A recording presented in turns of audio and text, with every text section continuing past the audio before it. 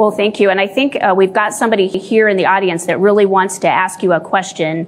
Uh, Joe Mitchell's got a question for you. Hi, Joe. Hey, Mr. President. Thanks for being here tonight. Thank you. Clearly, it's no secret that our country is in chaos. The world is in chaos. What happened with Yemen and the missile strikes the last few days, Ukraine, Palestine, we don't even know where the Secretary of Defense is right now. Are we on the brink of World War III? I think we're the closest that we've ever been. And, you know, Joe, this won't be a regular war. This is not going to be, as I say, army tanks running back and forth, shooting each other. These are weapons of mass destruction, the likes of which nobody's ever seen. I've seen, I've seen them. And uh, this is obliteration. This is not a world war like we are used to. World War One, World War Two were terrible, horrible. Uh, this is uh, so much bigger than that. This is, you know, like annihilation and we have people that can't put two sentences together. Our president can't speak. He can't speak a full sentence. And he's negotiating with Putin and he's negotiating with President Xi of China, who's very tough and very smart. You know, I say that and the media says, oh, you called him smart. Yeah, he's smart. He's very smart. He controls 1.4 billion people with an iron fist. I'd say that's smart. And he's a guy who uh, loves China and these are people that love their country, or certainly uh, whether they love their country or not, they want to make their country great again, right? Like we're doing. We were doing things at this country that nobody's ever seen. Then COVID came in. We did a great job with that, but never got the respect for the job we did with COVID. Nobody knew what it was. All over the world, it was ripping countries apart.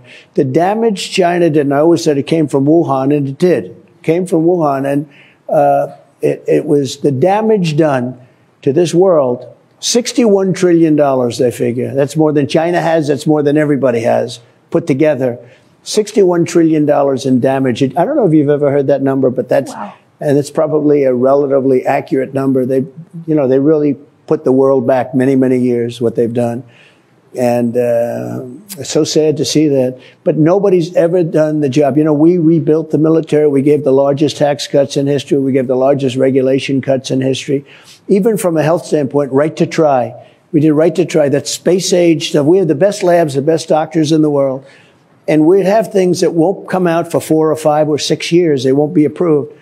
And I got it done. And they've been trying to get that done for 54 years. I got it done. And it saved thousands and thousands of lives. You know, nobody wanted it. The health companies didn't want it. The labs didn't want it. The doctors didn't want it. And the country didn't want it because everybody felt they were going to have liability. I got everybody in a room. The insurance companies didn't want it. I got them in a room. I said, look, the patient's going to sign no liability to anybody. And they were willing to do that. And we've saved thousands and thousands of lives. And you know, it's shown in many cases that the drugs really work. You know, the drug companies didn't want it because they didn't want to take terminally ill people. The people that were terminal, and it was incredible because they'd say for years, we don't want to take a chance because if they get sick, I said, they're terminal. You know, it's like that these are really sick people. These are people that will be dead. They are dying and they will have the right to use it. And they have had, and we've saved thousands and thousands of lives. And actually, it's been the opposite effect. Some of these drugs are so good that it actually proved that they were good, as opposed to, you know, the liability factor that the drugs co- drug companies were worried about. So we're very proud of uh, everything we did. We're the greatest economy in the history of our country. And again, the biggest tax cuts in history, uh, and that is substantially bigger than Ronald Reagan's tax cuts, and he did it. Now, the Democrats want to have that elapse. You know, it expires relatively soon. And that was a five year deal. It expires. And if that's allowed to expire, your tax, your taxes are going to go up at numbers that nobody, the biggest tax increase in history. And it'll also be very bad for the economy of, you know, for the, for the country. You know, it's interesting. When I cut the taxes to that tremendous extent, including for businesses, everybody said, oh, wow, it's not going to be income. We're taking much more income now than we did before with the higher tax rates. If they allow that to expire, which they'd like to do, I believe, I, th- I think they have a tremendous liability because even politically, why would you vote for somebody that's going to raise your taxes by 75%? And that's what you're going to be doing. If you vote for crooked Joe Biden, and he's crooked as you can be, there's never been a president more crooked than this guy. If you vote for him, and remember this, He got a lot of money from China, he got a lot of money from Ukraine, he got a lot of money from Russia. Do you remember during the debate when I said, How come you got three and a half million dollars from the mayor of Moscow's wife?